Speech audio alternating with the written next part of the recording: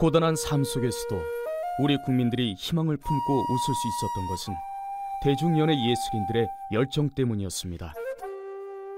비록 내 주머니는 헐거워도 국민들에게 즐거움을 주는 것을 신념으로 삼고 걸어온 길.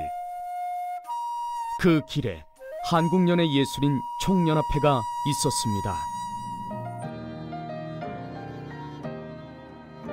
창작, 연주, 가수, 연기 네개 분관을 설립하며 종로이가 작은 사무소에 씨앗을 심은 한국연예 예술인 총연합회는 풀뿌리 연예 예술인들을 위한 권익 보호와 성장을 위해 씨앗을 일구며 커다란 나무 그늘이 되었습니다.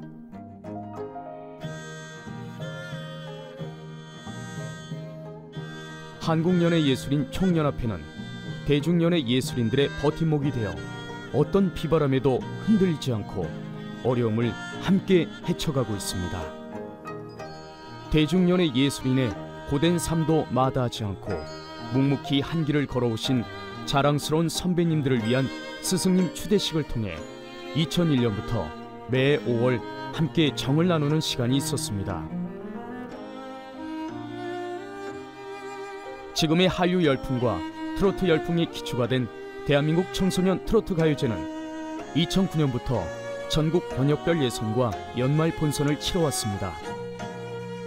전국의 트로트 활성화와 지속 가능한 트로트 발전을 위한 가요제를 개최함으로써 대한민국 문화예술의 위상을 알고 트로트 미래의 빛을 쏘아 올렸습니다.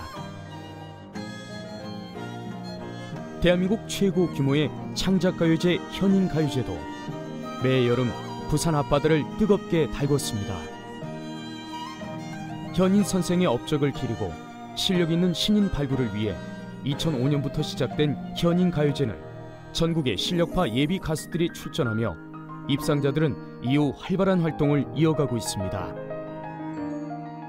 저희 사단법인 한국연예 예술인 총연합회는 앞으로도 수많은 연예 예술인들의 일자리 창출을 통하여 국민 정서 함양의 초석이 되겠습니다.